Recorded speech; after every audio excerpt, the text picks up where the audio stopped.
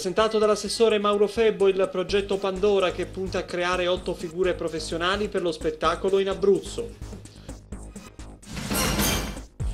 La storia di Gino, pescatore e musicista di Francavilla al mare, la passione per il mare ha permesso a lui di scrivere tante belle poesie che con la sua chitarra ha trasformato in musica e canzoni fino ad arrivare al suo primo CD che si chiama Lu Pescatore.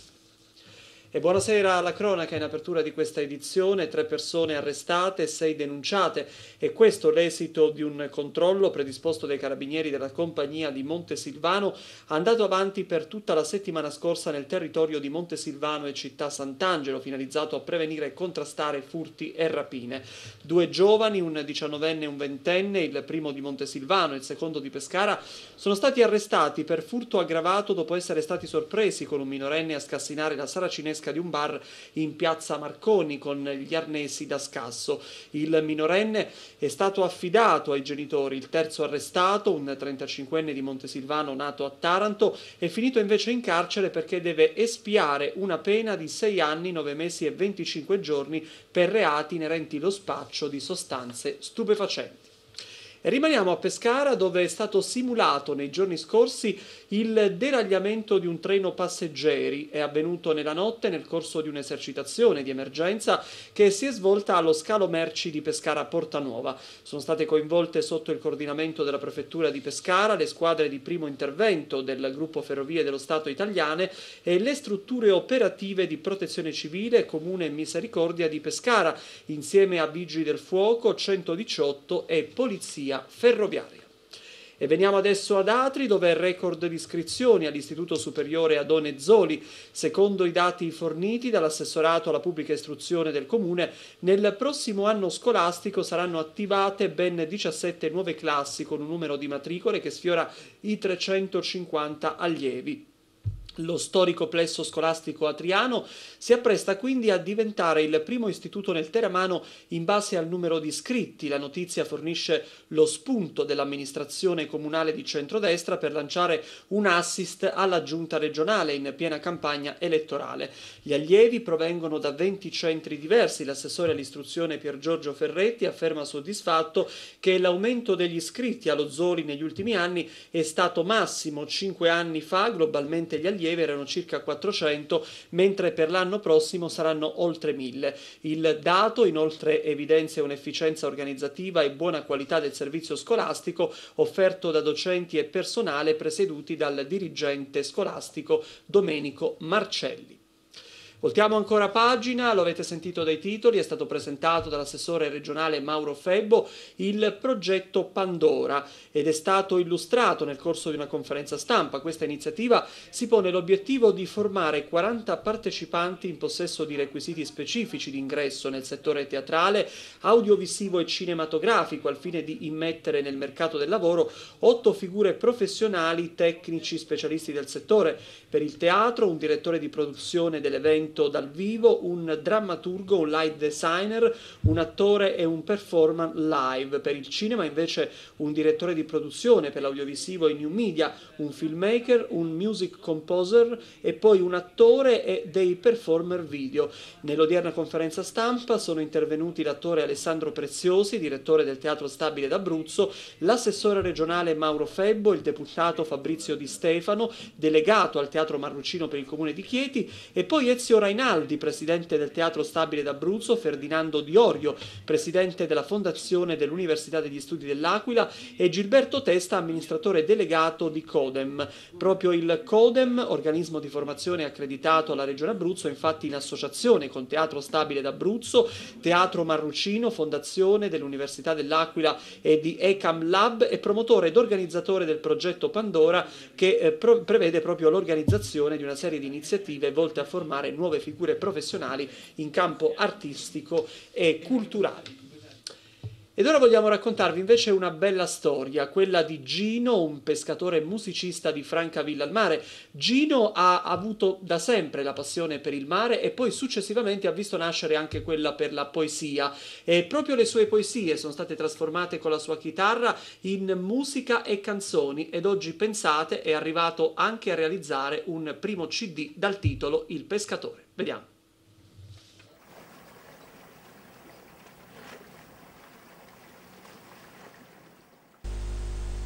È una bella storia che viene dal mare, quella che vi raccontiamo, sì, un luogo dove è possibile trovare riposo, pace e tranquillità, lontano dai problemi della vita di ogni giorno, proprio come entrare in un angolo di paradiso dove tutti i problemi sembrano svanire nel nulla.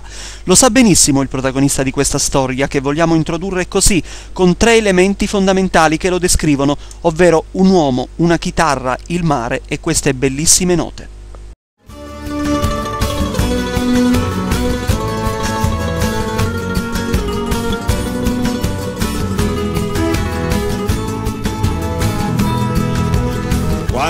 Sole nasce ogni mattina.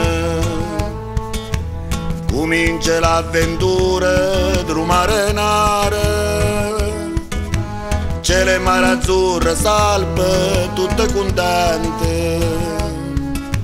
Reta bordo e prue verso l'orizzonte. Non pensiero chi notte e giorno le protegge se la pescata è buona, ringrazia l'uccello.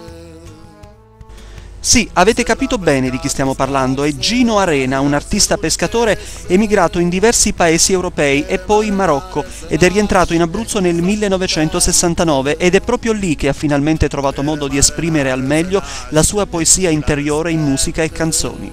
Gino trascorre la sua infanzia in uno dei periodi più difficili della storia italiana. Duro ed introverso nasconde dentro di sé un animo poetico che lo avvicina alla musica.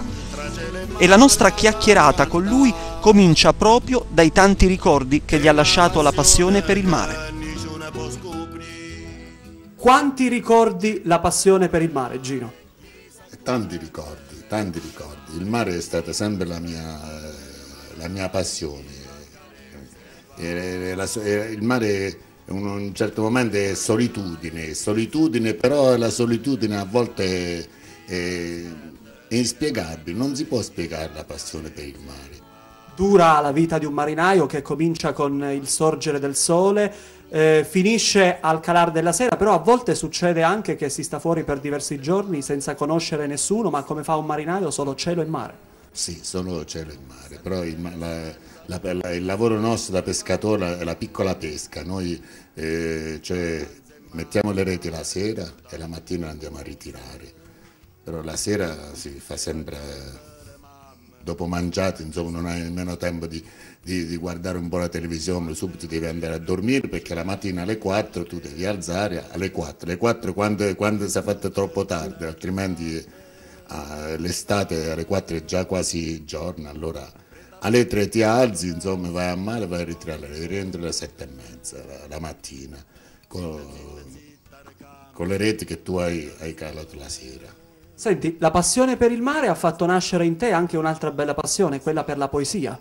Eh, la poesia, chiamiamolo, chiamiamolo poesia, io, però sono cose che viene da dentro, non so spiegare come come nasce, come nasce queste cose, queste, eh, sono scritte tante di quelle canzoni, 50, 60, 70, eh, di, canzoni che non lo so come nascono. Eh, se io dovessi dare una spiegazione, ma come insomma, eh, Gino adesso che scrivi poesie, canzoni, ma io non so spiegare.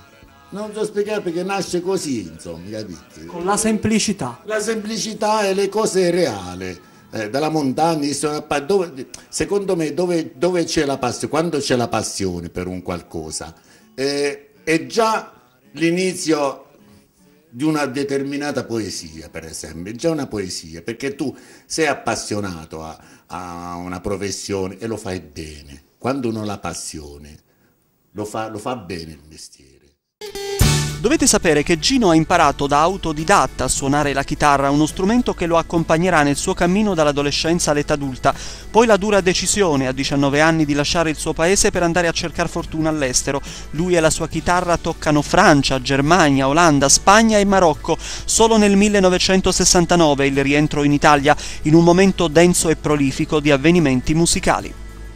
La chitarra, la chitarra è uno strumento che eh, mi ha accompagnato per 60 anni che mi accompagna la chitarra. Io senza la chitarra non potrei stare. È come, come, come la chitarra è come una donna, non si può, non si può vivere senza una donna.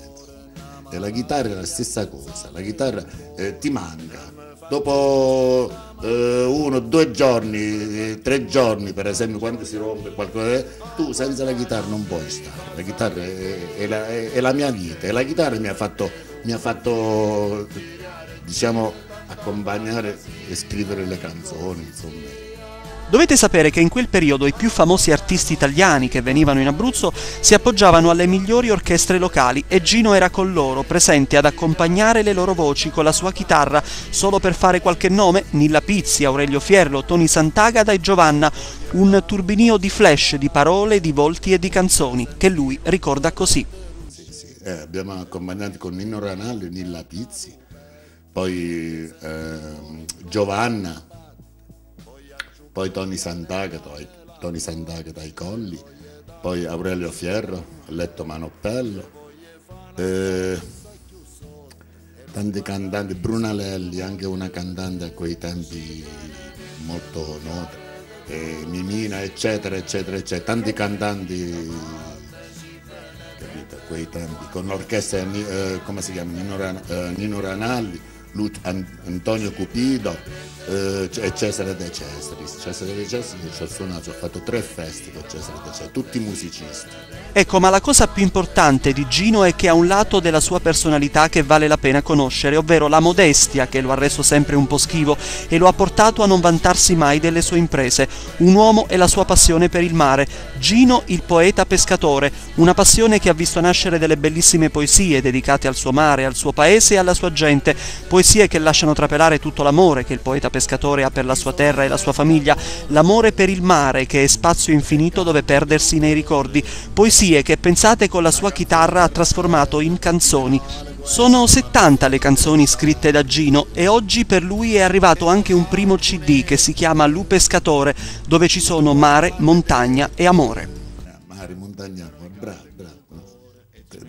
Otto, otto brani, otto canzoni.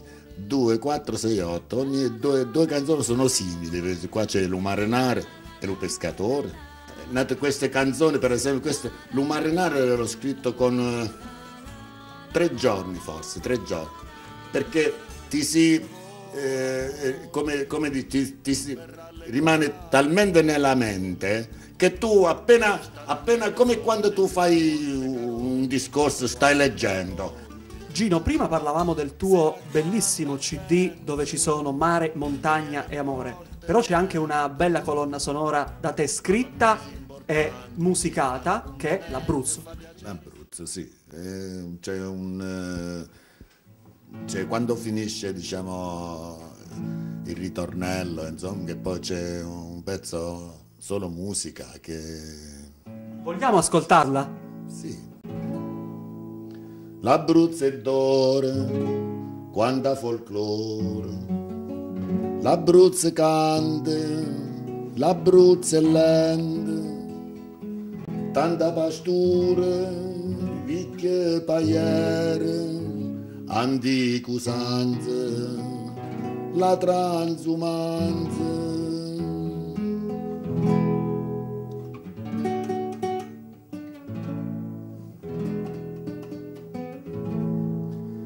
Iso abruzzese po' marinare, un po' montanare. Io sono abruzzese, nata e cresciuta, franca bellese. Io sono abruzzese, forte e gentile, senza pretese.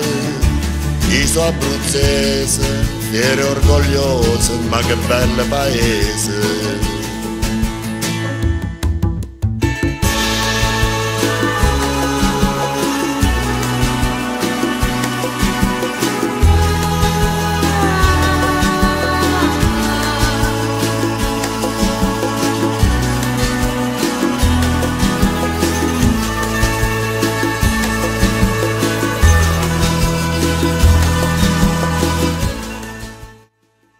Le parole di, di, dell'Abruzzo eh, mi piace assai. Sono innamorato non solo de, dell'Abruzzo, di tutte le, le, canzoni che ho scritte. Perché a conti fatti, se vada, se vada a, a, vedere i diretti, c'è sempre, ci sono oltre 100 canzoni che ho scritto.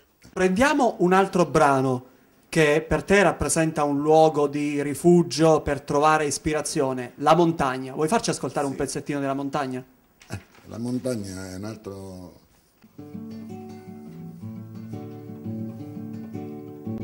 So sempre il pescatore, quello che canta in quello cuore. La primavera già rivete, la poesia mi ha trovato per cantare un'altra canzone pensiero alla montagna, specialmente allo voltigno. A dove beva, a dove mangi, vino rosso di cantine, rustacille e custatine. Vogliar vedere un bosco verde, vogliar parlare in pecorale, vogliar carezzare il cane, vogliar trovare la pace vera, sperare un po' d'aria buona.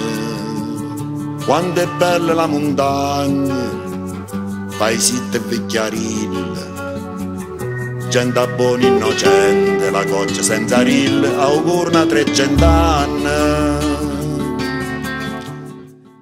Gino ama trascorrere le sue giornate in questo piccolo spazio che lui definisce il luogo della memoria perché è in questo suo locale di Francavilla che lui ritrova i tanti ricordi del passato che gli ha regalato momenti belli e momenti brutti, ma non fa niente perché Gino sa dimenticare quei momenti brutti e lo fa proprio tra le reti del suo mare, ormai appesi al chiodo per raggiunti limiti di età, e le corde della sua chitarra che ogni giorno continuano a regalargli gioia, amore e felicità.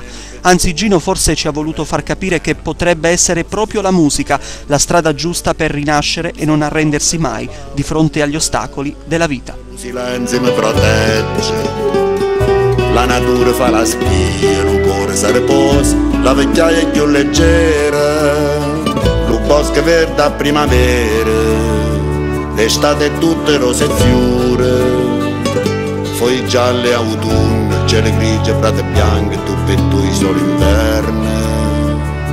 Margherita, fiore gialle, aria fine, prate verde. Vendicelle frizzantine, corvenire selvaggine, tutte queste la montagna. Se la notte fa paura e lo silenzio mi protegge, la natura fa la spia, il cuore si riposa la vecchiaia è più leggera. La bella dorme, cielo la carezza, estate, inverno, autunno e primavera. Che cosa bella quando le gellite bianche vole vole in goccia a. La bella dorme, cielo la carezza. E vi ricordo l'appuntamento con il nostro settimanale, l'approfondimento curato dalla testata giornalistica Teleatri Notizie, in onda ogni domenica a partire dalle 21.30. E vi ricordo anche che per donare il 5 per 1000 all'Associazione di Volontariato Carta, Club Amatori Radio Televisione Atriani con TV Atri, è possibile farlo al numero di codice fiscale 9000 6490 677. Lo ripetiamo, 9000 6490 677. Ed è tutto per questa edizione trasmissione, ora spazio alle previsioni del tempo. Buona serata.